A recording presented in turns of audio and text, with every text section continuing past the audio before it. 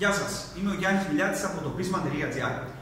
Σήμερα είναι το δεύτερο βίντεο άρθρο που θα κάνουμε σχετικά με κομμάτια από βιβλία που διάβαζα τον τελευταίο καιρό και νομίζω ότι σας ενδιαφέρουν.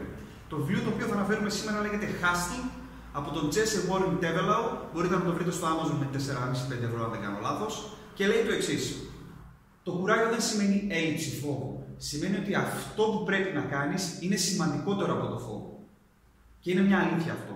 Είναι η αλήθεια το ότι ε, θα σας το πω με δικό μου παράδειγμα. Πριν από πολλά χρόνια πάντα φοβόμουν να κάνω κάτι και τις περισσότερες φορές έκανα πίσω και δεν το έκανα. Και καμία από αυτές τις φορές που έκανα πίσω και δεν το έκανα δεν βγήκα κερδισμένος. Ω συνήθως ε, σκεφτόμουν έπρεπε να το κάνω αυτό.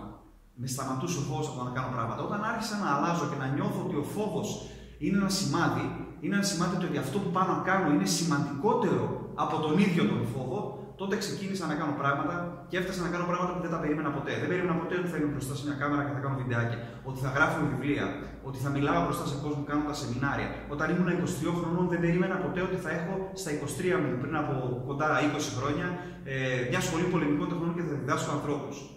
Είναι πράγματα όμως τα οποία δεν φοβήθηκα να τα κάνω και προχώρησα μπροστά. Αυτό που είχα να κάνω ήταν σημαντικότερο από το φόβο. Και το ίδιο και εσείς. Σκεφτείτε τι είναι αυτό που σας κρατάει πίσω. Μόνο ο φόβος. Ξεπεράστε τον και δείτε κατά πόσον αυτό που έχετε να κάνετε είναι σημαντικότερο από το φόβο. Αυτό είναι το κουράγιο. Κουράγιο λοιπόν, συνεχίστε και subscribe και like στη σελίδα του pisma.gr. Καλή συνέχεια.